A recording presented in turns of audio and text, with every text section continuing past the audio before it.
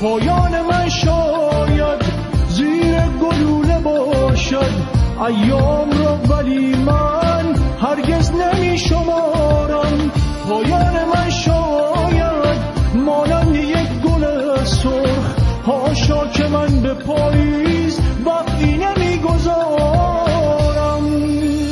گاهی غریب یک راد گاهی تنین رگبار گاهی شکوه در نغمه های سازم تکرار کار من نیست. هر روز نوتر از پیش در این مسیر پرکوب نامی حماس سازم.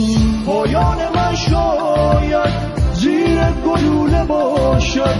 ایام را ولی من هرگز نمی شمارم پایان من شاید مانند یک گل سرخ پاییز وقتی نمی‌گذارم.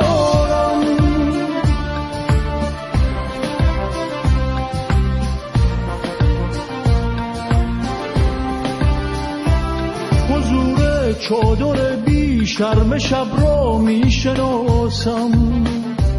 میان زمحریره از تب را می‌شناسم.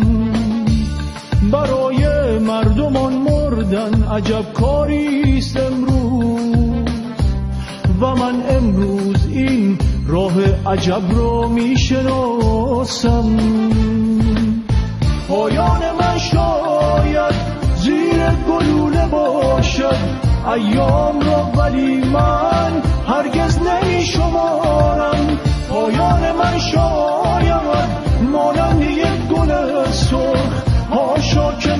پاییز وقتی نمی‌گذارم. ابلیس ها شکستن تندیس واژه ها را اما فرشته ما خواهد شد آشکارا هم نعره ایم و هم باد هم زخمه ایم و هم یاد. تاریخ در کف ماست صاحب دلان خدا.